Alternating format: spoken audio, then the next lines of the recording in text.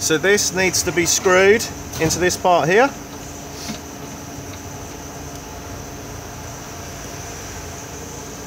And then once we're screwed in, we then need to just take our refueling nozzle just here. You'll see the cutouts just there. Just need to marry up and just go over. Rotate round and then lock on. Give it a good twist. You can see that it's on.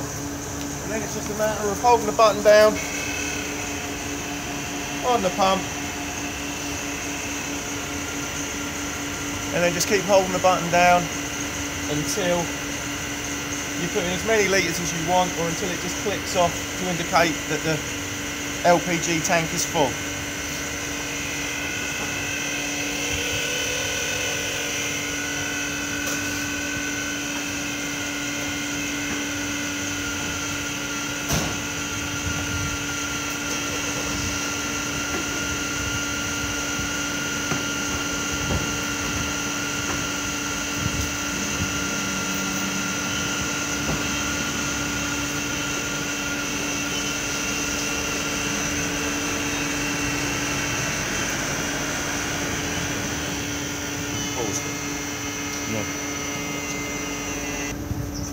The LPG tank is now full. When we release this, we're going to get a backdraft of gas. Just keep your hands clear.